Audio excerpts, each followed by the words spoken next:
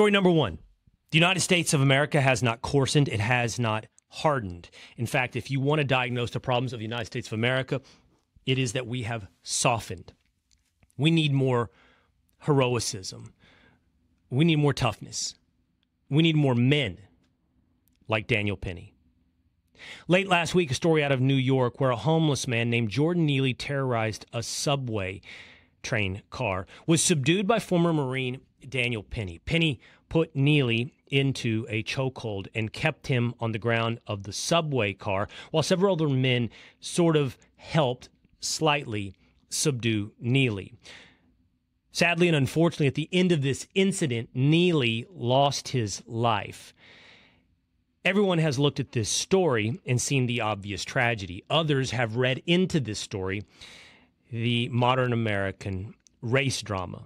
You see, Daniel Penny is white, Jordan Neely is black. What they see there is vigilantism, white supremacy. What they see there is the coarsening of American culture in ignoring the needs of the homeless.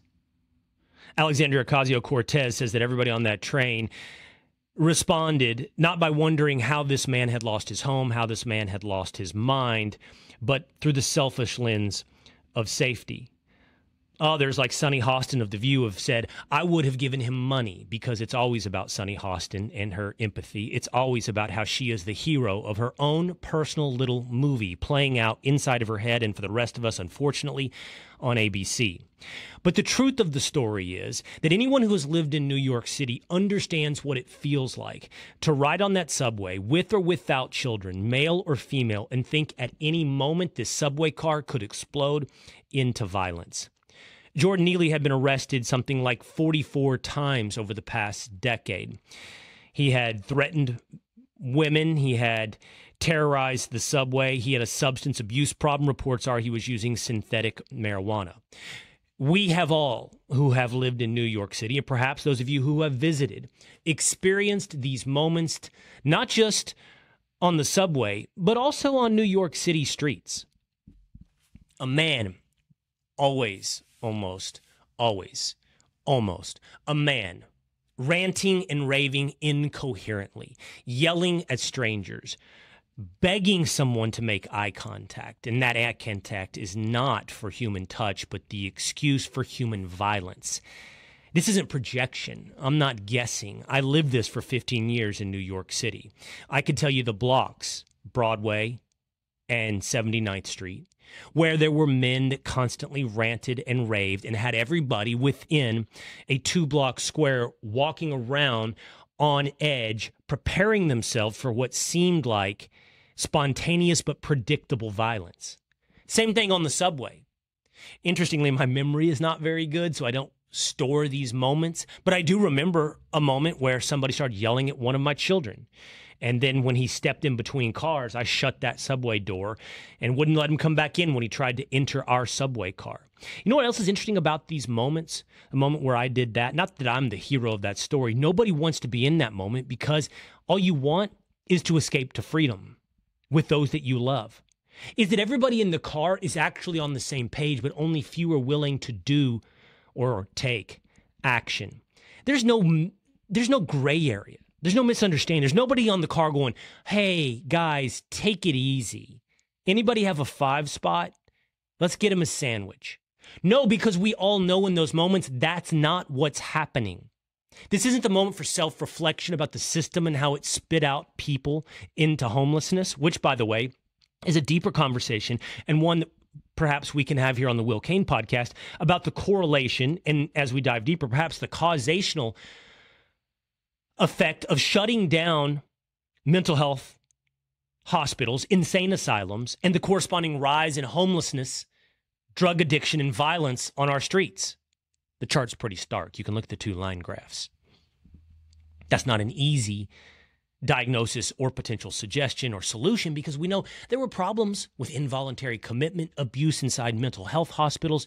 We know that was no turnkey solution to America's problems. But neither, obviously, is turning out the sick onto our streets to dig through trash cans, calm their brains with drugs, and terrorize the rest of the citizenry with their illness.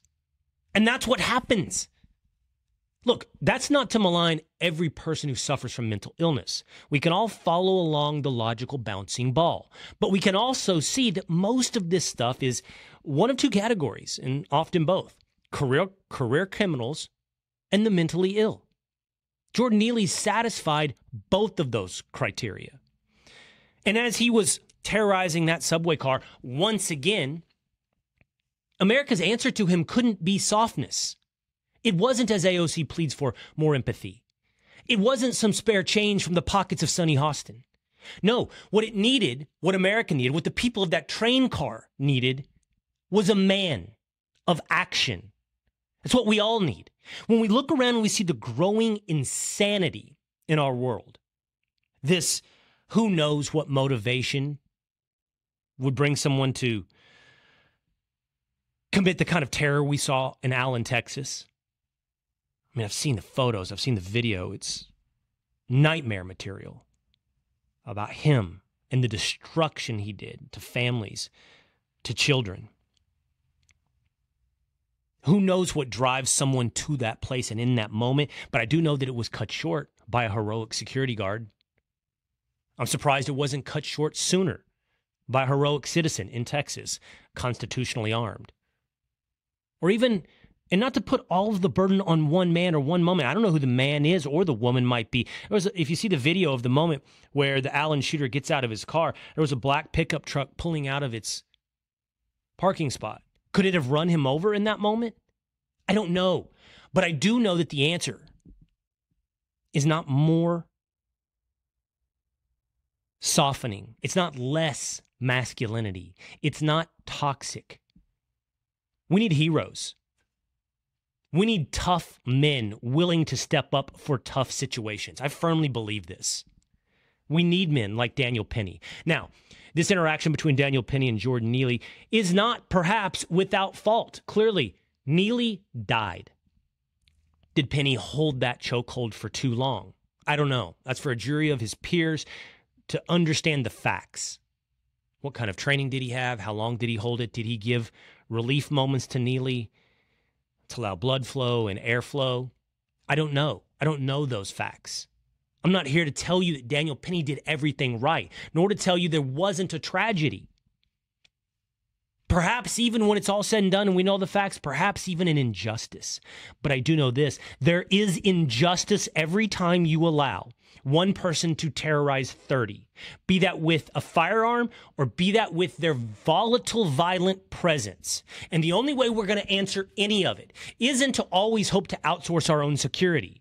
It's not going to be to always hope the police arrive in time. Oh, those are levels of expectations we can maintain that we should have. But you know what else? We have to be able to stand up for ourselves. And to hell with any prosecutor that steps in and says, you don't have that right. To hell with Alvin Bragg in New York, going after a bodega clerk owner for defending himself from a violent attack. The right to self defense is a fundamental right. I am not required to be anyone's victim. And in a civil society, it should be expected that I be someone else's hero. That's how it should work in a society that values the characteristics of manhood that is not toxic, that is actually heroic. Again, I don't sit here today and argue that every action taken by Daniel Penny was just or correct. We'll let the facts and a court of law help us arrive at those conclusions. But I do know the instinct is absolutely correct. And I'll guarantee you that every person on that subway car appreciated what Daniel Penny did that day. He wasn't looking to hurt. In my estimation, he wasn't looking to hurt, certainly not looking to kill. How dare AOC call it murder? But rather to subdue what was a volatile and violent threat. And because of that, because of that instinct, we need more Daniel Pennies. Hey, it's Will Cain. Click here to subscribe to the Fox News channel on YouTube. It's the best way to get our latest interviews and highlights. And click to subscribe to the Will Cain podcast for full episodes right now.